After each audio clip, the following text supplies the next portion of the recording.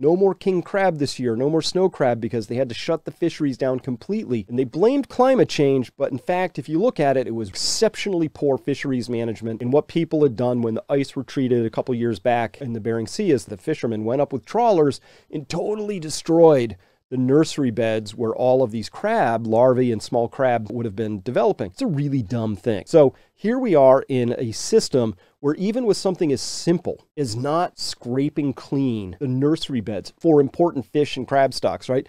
That's something that seems to elude human capability to manage appropriately. Why? Because well, there's people involved and it's hard and it'll cost money and this would be a bad year to, to, reduce fishing and I'll be unpopular and I'll be yelled at at the next meeting I go to. So things happen.